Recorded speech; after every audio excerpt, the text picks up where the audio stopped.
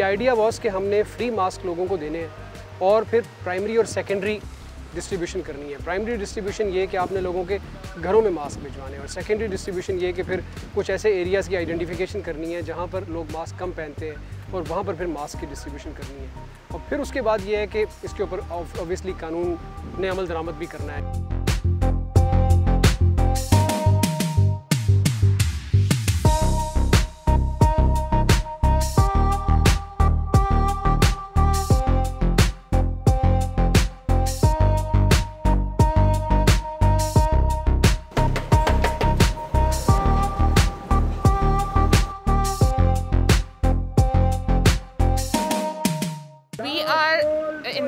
This with policymakers in different countries based on the study that was done in Bangladesh.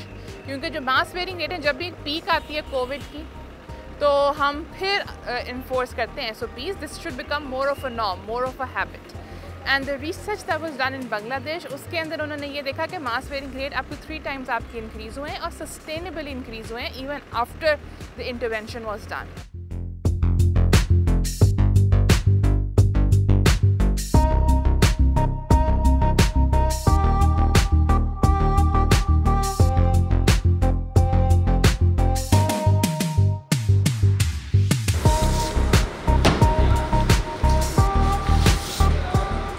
मैं तो हैरान हो गया हूँ कि गवर्नमेंट की तरफ़ से मार्क्स आया है अभी अच्छा लगा है और इन पहनेंगे, यूज़ करेंगे, एहतियात भी करेंगे। हमारे लिए बेहतरी होगी और मुल्क के लिए भी बेहतरी होगी।